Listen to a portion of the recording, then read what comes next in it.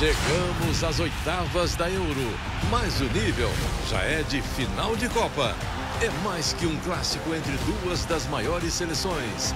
É Harry Kane e Thomas Miller liderando dois esquadrões de craques. É nada menos que Inglaterra e Alemanha. Amanhã, uma da tarde.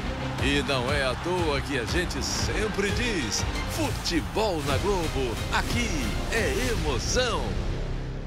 A transmissão da UEFA Euro 2020 na Globo é um oferecimento de Heineken, patrocinadora oficial da Eurocopa. E Volkswagen, chegou Taos, seu próximo SUVW.